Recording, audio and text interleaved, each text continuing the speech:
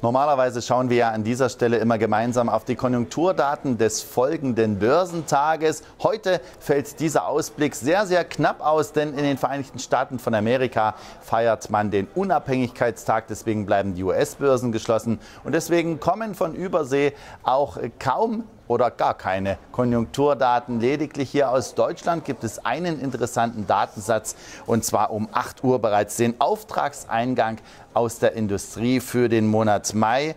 Hier äh, werden die Börsianer natürlich ganz genau hinschauen. Auf der anderen Seite kann ich Ihnen an dieser Stelle wenigstens noch mal die allerwichtigsten Daten dieses Superdonnerstags zusammenfassen.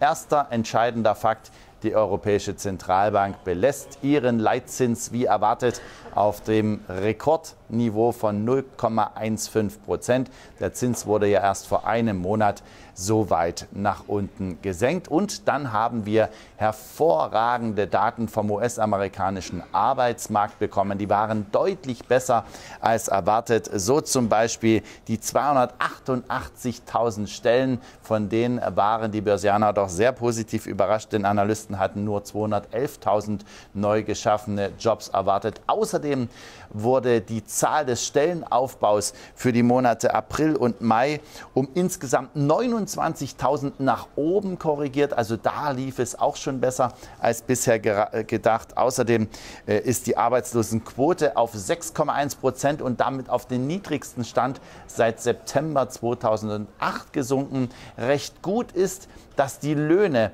nur mäßig steigen, nämlich aktuell weiterhin um 0,2 Prozent.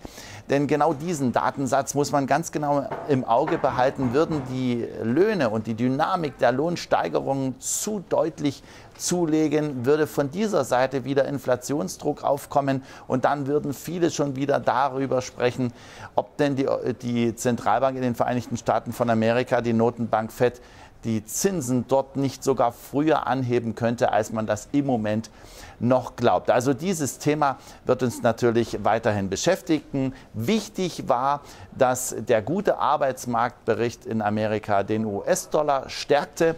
Der Euro ist umgekehrt auf 1,36 Dollar gefallen. Das war eine ziemlich starke, heftige, deutliche Bewegung. Und gleichzeitig kletterte der deutsche Aktienindex wieder über die historisch ja, historisch sowieso, aber auch magische Marke von 10.000 Punkten, nämlich auf einen Tageshöchstkurs von derzeit 10.021 Zähler und damit lag der DAX um 109 Punkte über seinem Schlusskurs vom Mittwoch.